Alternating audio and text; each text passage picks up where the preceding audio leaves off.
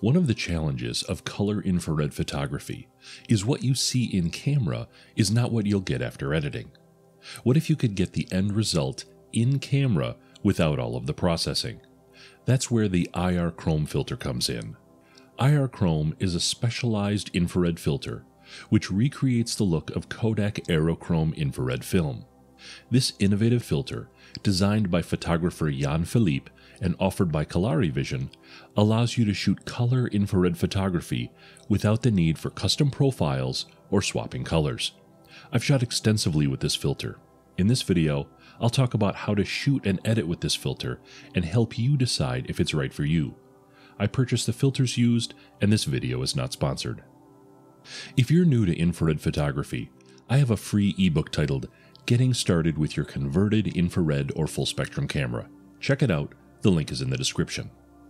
The primary benefit of the IR Chrome filter is that no color swap is required to process images. Unlike with other color infrared filters, what you see in camera is actually what you get in the image. If you enjoy shooting color infrared photography, but don't enjoy the process of editing those images, then this may just be what you're looking for. This filter allows you to shoot in either RAW or JPEG. If you shoot in JPEG, be sure to set a custom white balance before shooting. Clouds are a great subject for setting a custom white balance. Otherwise, select a neutral gray subject. White balancing on grass will not produce the same results as it does with other infrared filters. This comparison demonstrates the difference. The image on the far left used a custom white balance on grass. The result is too blue. The second is the same image with a corrected white balance in editing, which can't completely correct the balance. The third image is shot in RAW with a white balance set in the editor. The final image is a JPEG with a custom white balance set on the clouds. Be sure to set a custom white balance on a neutral subject when shooting in JPEG. Shooting in JPEG also allows you to use film simulation profiles directly in camera. This is particularly beneficial for Fujifilm shooters. Shooting in RAW gives you the same flexibility in editing as with other infrared filters. With RAW images, you can apply film simulation profiles while editing. While I white balance on the clouds in Lightroom, the temperature slider pegs at 50,000 Kelvin. The white balance looks good, but it's just a hint too blue. That's fine for most images. If you're shooting JPEG, you can shift the white balance slightly to red in the camera. If you're shooting RAW, you can create a custom profile. I find that a plus 25 temperature shift works well. But honestly, you're not using this filter because you want to mess around with custom profiles.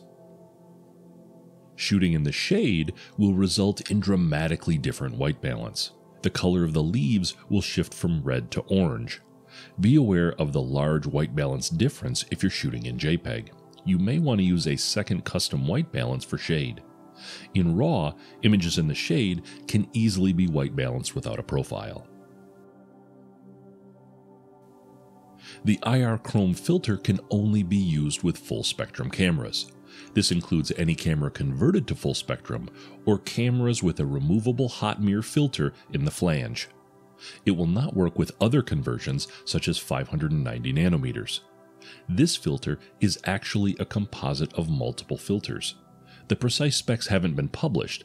I suspect that the filter passes blue and green light from about 470 to 550 nanometers and also passes wavelengths 720 nanometers and up, red and infrared. Passing blue wavelengths allows for a blue sky.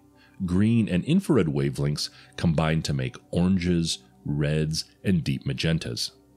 The colors can be so vivid that I find myself desaturating some images slightly, but of course, you may prefer the saturated colors. Since no channel mixer color swapping is required, images are less prone to some of the color fringing effects that can occur on the edges between the sky and leaves. I have two sizes of the IR Chrome filter, a 37mm for the Kolari Pocket and a 58mm for interchangeable lenses. I've shot IR Chrome images with three different full spectrum cameras a Kolari Pocket, a Fujifilm X-T2, and a Fujifilm GFX 50R. The Fujifilm XF14mm, my go to wide angle infrared lens, uses a 58mm filter so it can be mounted directly to the lens.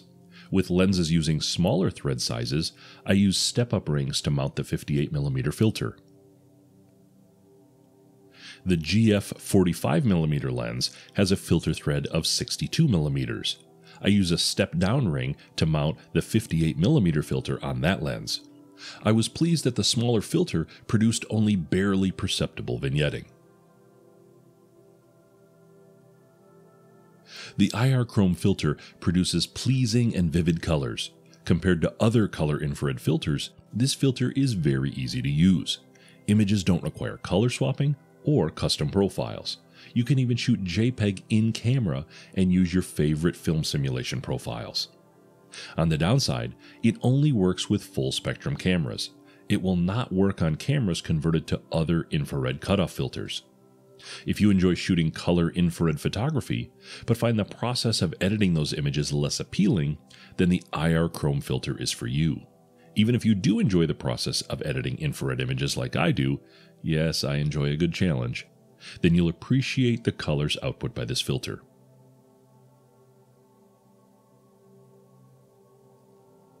If you find these videos helpful on your infrared photography journey, please consider liking, subscribing, or leaving a comment.